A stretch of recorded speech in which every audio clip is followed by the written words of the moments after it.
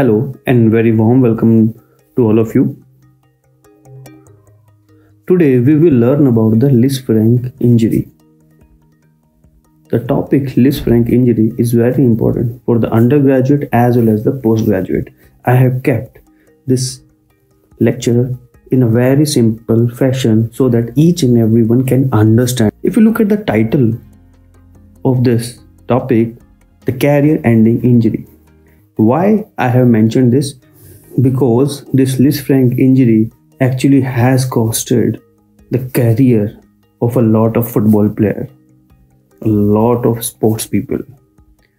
Because the clear cut fracture we can see easily, but there are subtle cases, okay, where they just ligamentous injury, just due to improper diagnosis, the cases are missed.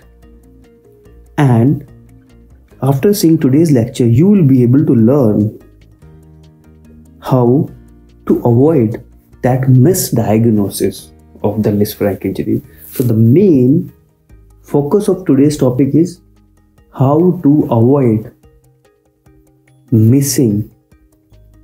Okay? How to avoid the misdiagnosis of Lisfranc injury okay? So let's start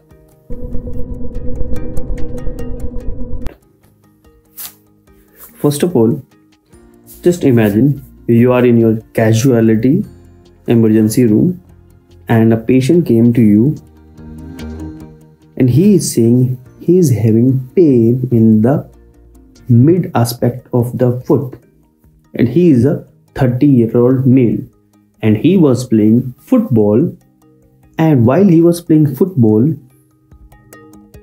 somebody landed on his foot okay the clear picture is somebody landed on his foot. Now, in football, this landing, how does this landing creates this Lisfranc instability? Let's see. If you look at this picture, okay, if you look at this picture, this guy, okay, this is landing on the feet of this man. Now just look at this next picture. This guy has landed upon the feet of that man. And if you compare this picture and this picture they are same. So what happened is the ankle has gone into plantar flexion and in that plantar flex position somebody is giving push on this posterior side and the body of the weight is falling on this side. This will create a huge amount of force that will result in damage of your Lisfranc ligament. So this is the most common mechanism of injury in case of a sports individual. The other causes due to trauma like motorbike accident. They are the another causes. Fall down from height. They are also the another causes. But the most common presentation is after a sports injury. Okay? Now what are the clinical examination finding? Now that guy came to you you start. You start always by asking the history. Then you look for the examination part. In the examination part what you have to do? In the examination part we check the tenderness after asking the patient to pinpoint the site of tenderness. Remember, in foot and ankle, always ask patient to pinpoint pinpoint the site of tenderness the site of tenderness this pointing part will literally ease your life. Okay? You will look for the point of tenderness. Then you will think about the respective pathology. Here the patient will complain. In case of a subtle injury the patient will complain of pain over the midfoot region. And to pinpoint along the base of second metatarsal and the medial and the middle cuneiform. These are the sides. Okay in case of a subtle injury. Now so you have examined the patient okay about the tenderness part. Now what next is now the next thing you have to do is ask the patient to stand on their feet so there are two possibilities. Better let's say three possibilities. The one condition he will not be able to stand at all. So that's confirmed the injury is severe. You're definitely going to get something on the x-ray. Now the second scenario is the patient is able to stand means he is able to weight bear but when you ask him to like elevate his heel. Ask him to stand on the tip of toes. So it means he is not able to do it. Now keep in mind we are talking about the midfoot sprain and the Lisfranc injury. And in that condition the patient is not able to stand on the tip of their toe. We are not dealing here about the ankle sprain okay? Or high ankle low ankle sprain. We are dealing about the midfoot sprain so he is not able to stand on the tip of toe. It means injury is there but it's a subtle injury. Okay? So this will create a suspicion. Now there are few patients who can stand on their foot. They can weight bear. They can stand on the tip of their toes. And even they can do the normal walking. But what is their complaint? Okay? In this category of patients the complaints there occur pain in the midfoot okay when i starts running okay. I had a history of trauma and now it has been one week since then. When i start running it hurts okay. Otherwise i'm able to walk pain free but it hurts. This also could be a sign of injury of the isolated Lisfranc ligament okay. Now what next we should do? We all know the next step is the getting the x-ray. Okay? Now before jumping into the x-ray just recall some basic points about the Lisfranc what is the Lisfranc ligament? Now Lisfranc ligament it is a interosseous ligament interosseous ligament. So it is between the two bones okay? So it is between the two bones. That's the one point. Second thing what it holds. Now there's a new system okay of labeling the bones in our foot and ankle where we label it as like this is a medial cuneiform. We labeled it as mc1 okay. This is c2 this is c3 okay. Cuneiform 1 cuneiform 2 cuneiform 3 and same with the metatarsal 1 metatarsal 2 and metatarsal 3 now Lisfranc ligament it is an interosseous ligament which is located in between the mc1 and mt2 so this is your Lisfranc ligament. This is how we discuss about the Lisfranc ligament. Okay? Now so let's get done the x-ray of this patient we'll get which x-rays? We'll get the ap okay? We'll get the oblique and we'll get the lateral view. I'll tell you the importance of each and every aspect of the x-ray. Now this is the ap view. So in the ap view this is a normal AP view of the foot to identify, to diagnose the Lisfranc injury. What we need to do? We need to check the alignment of this metatarsal with the cuneiform and we have to check the spaces in between the metatarsal and the cuneiform. Now, the first thing, draw a line here, okay? Now here. So they are, so there is no gap in between the cuneiform, okay? Now, second thing there is no gap in between the base look at the base okay just a second. Let's do it properly. There is no gap in between the base of the metatarsal okay? So that's the second point we have to look. Now third point is draw a line from this MC1 to the base of second meta base of first metatarsal from the MC1 to the base of first metatarsal. So there is no disruption of this line and second line is this medial aspect of the base. Of second metatarsal to the middle cuneiform base. So this is all. These lines are parallel to each other. Okay? There is no disruption. Okay? So that's the one thing that we have to see in case of a ap view. Now this is the x-ray. Okay? Now compare it to x-ray. What we are seeing here the gap between these two mc1 and the mc2 okay second thing there is a gap between the base of the two.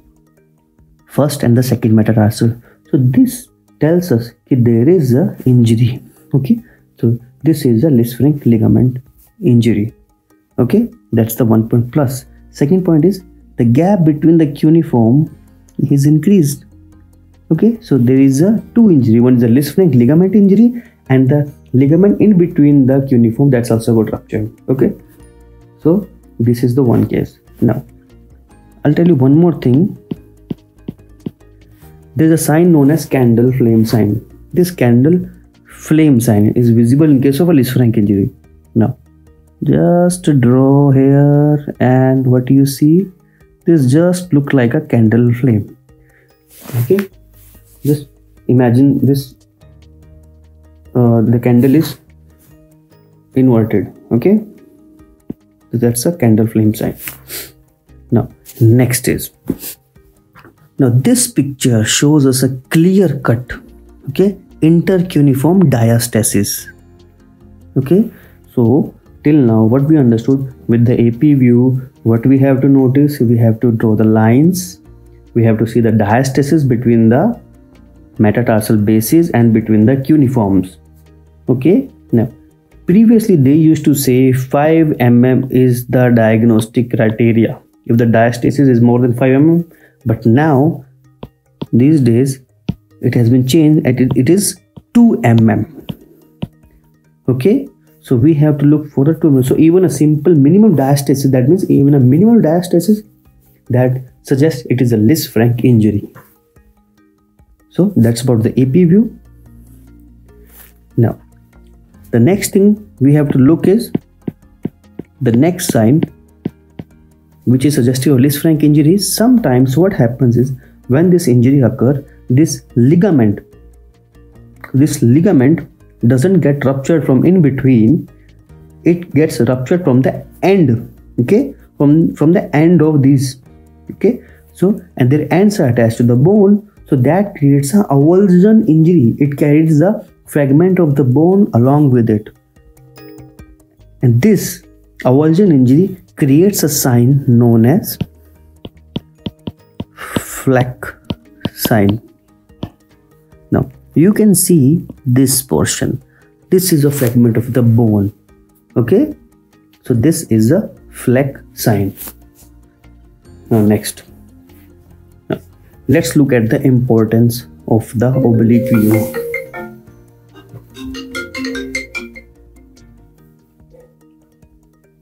Hello.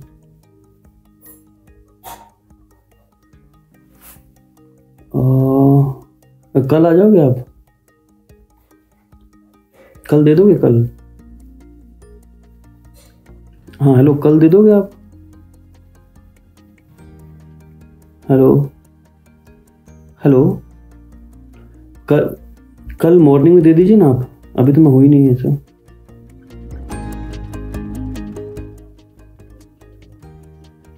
नहीं कल कल आऊँगा ना, कल morning दे देना आप, ठीक है? हम्म। नहीं कल देना मॉर्निंग में, ठीक है? Okay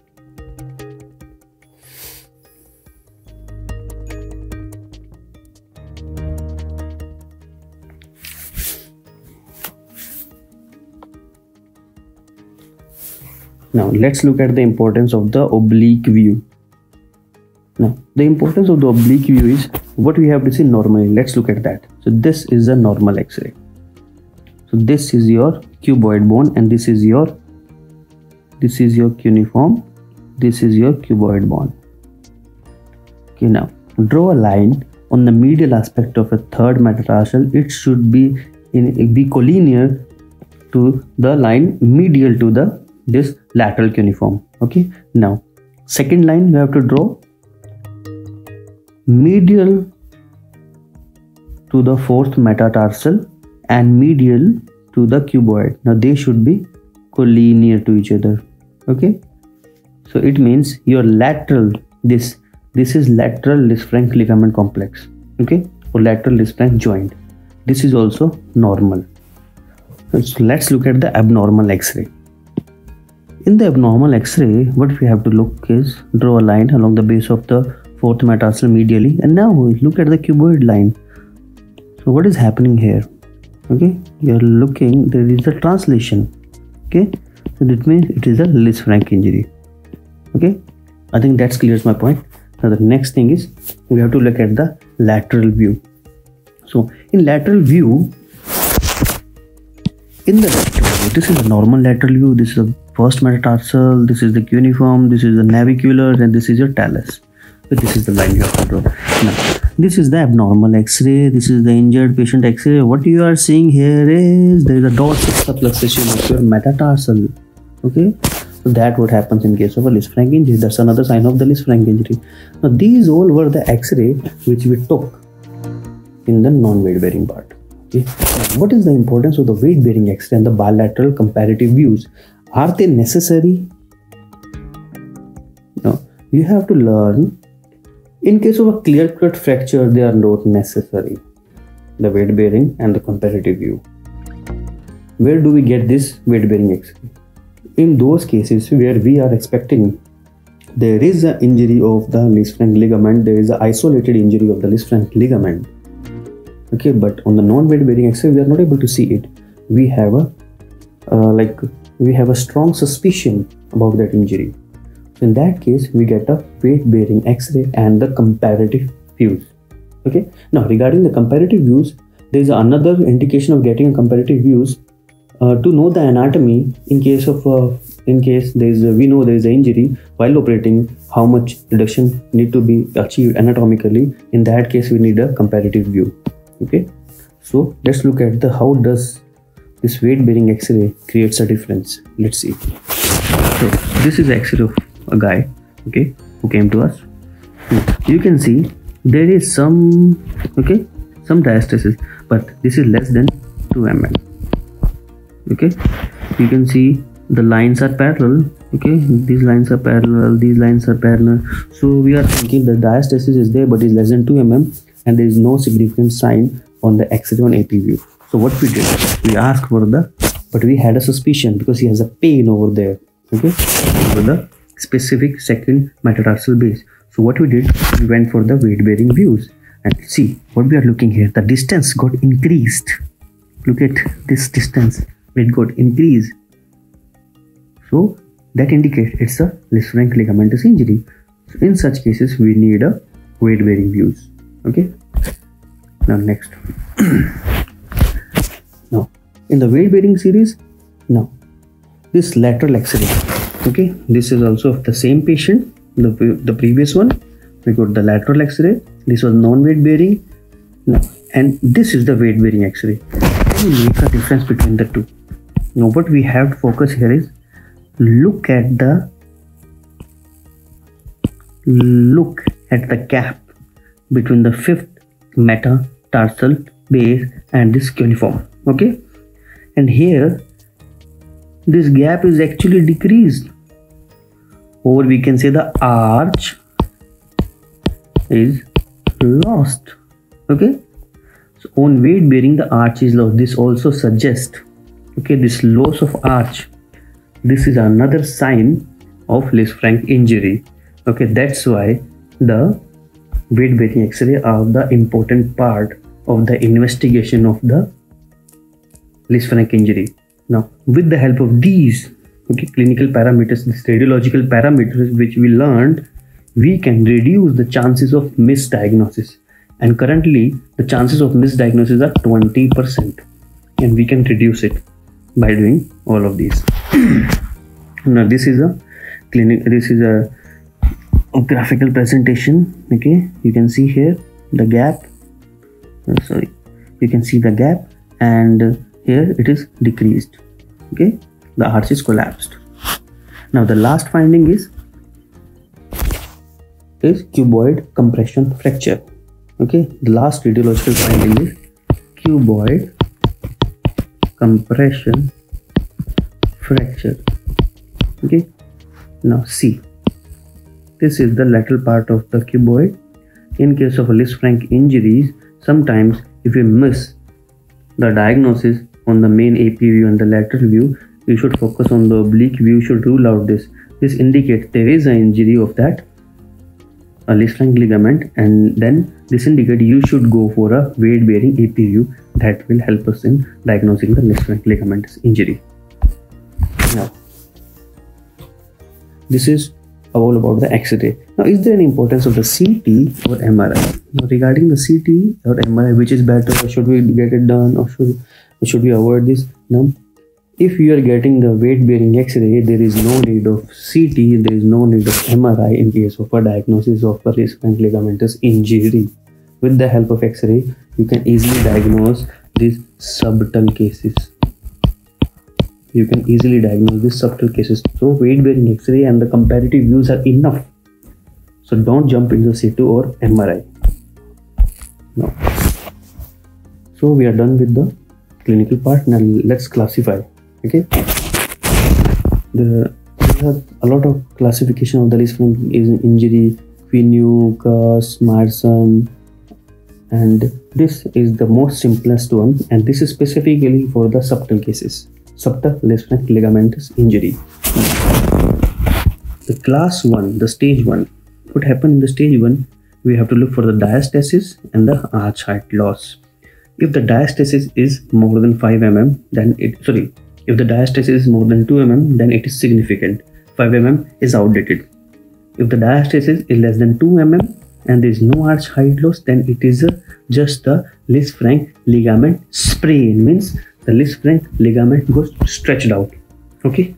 Now in stage 2 diastasis is there. This means Lisfranc ligament is ruptured. Okay Lisfranc ligament is ruptured from the center. Okay? But there is no arch height loss.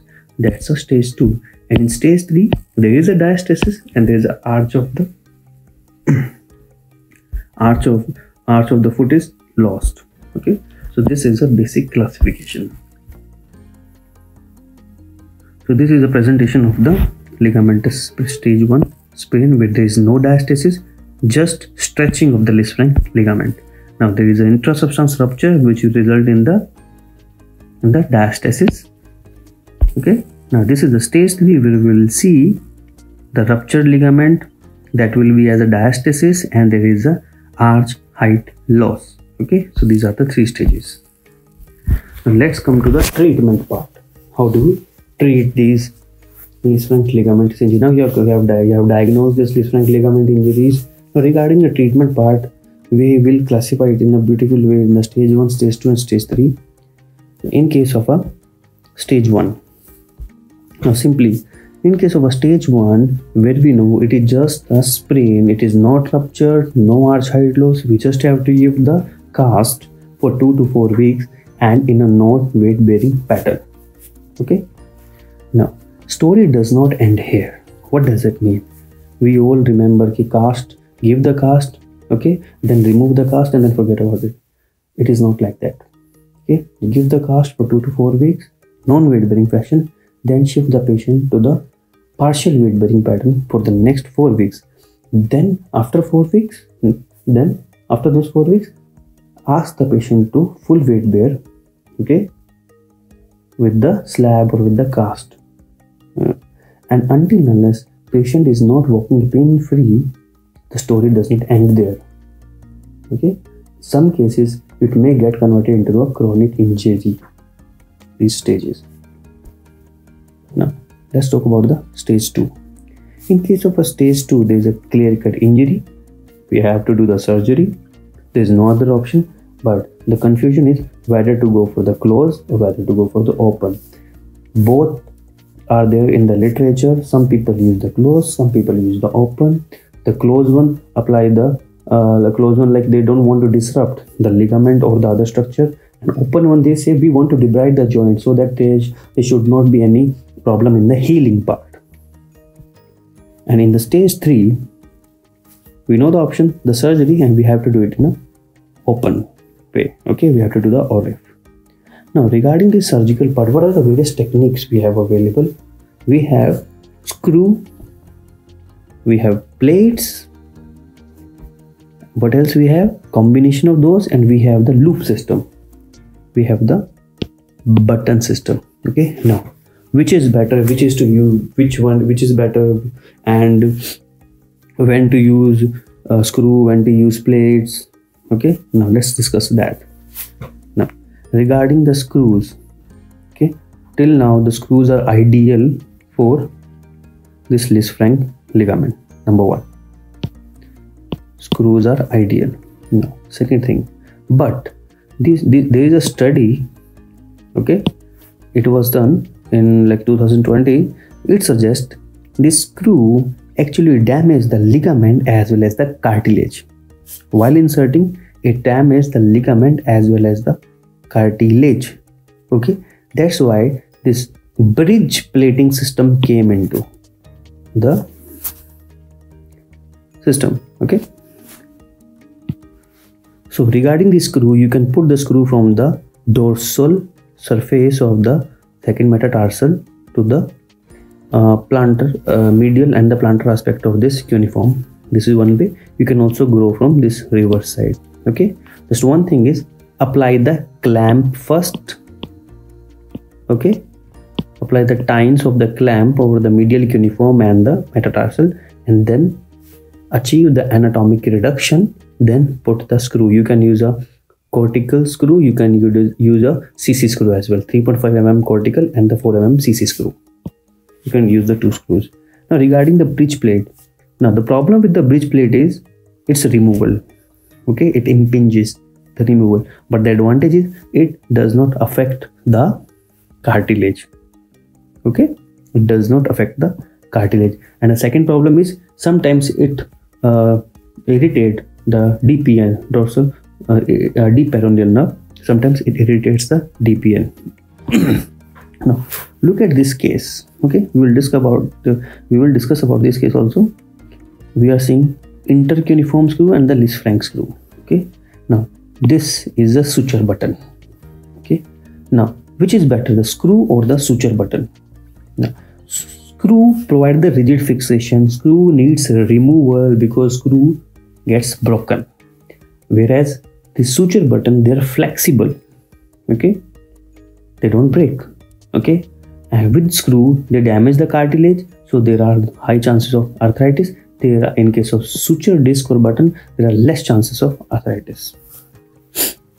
Now regarding the screw these Lisfranc screw are actually a positional screw just like syndesmotic screw don't use them to achieve the reduction.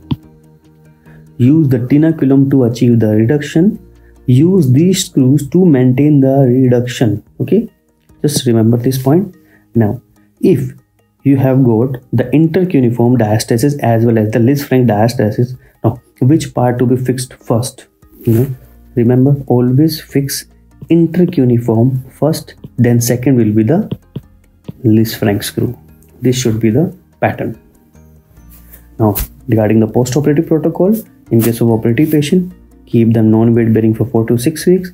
Then after 6 weeks remove the slab. Depending on the condition after 6 weeks or 4 weeks you can remove the slab. Now start partial weight bearing okay for the next 4 weeks. Then full weight bearing for the uh, 8 to 12 weeks. Now screw removal this screw removal usually done at the 4 months otherwise in some patient, patients it break the last slide is about the old Lisfranc injury. Suppose the case is 4 month old. In that case, uh, the problem is not with the stage 1, problem is with the stage 2 and stage 3. If the patient is belongs to stage 2 and it's 4 month old, then in that case, we can do open we can do close any of the two there is still no consensus available. But regarding stage 3 it is always open reduction. Okay thank you. Do share follow and subscribe